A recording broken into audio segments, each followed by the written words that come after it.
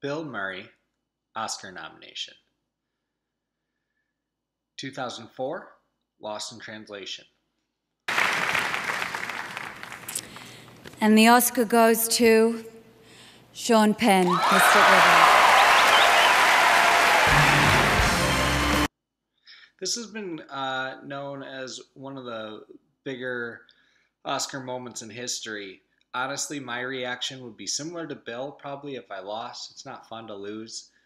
I always find it weird that people are clapping on the winner when they just lost. I, I guess it's in good sportsmanship, but honestly, if you really thought you might win and you lost, I would be upset too. But, anyways, thanks for watching. Comment, like, subscribe.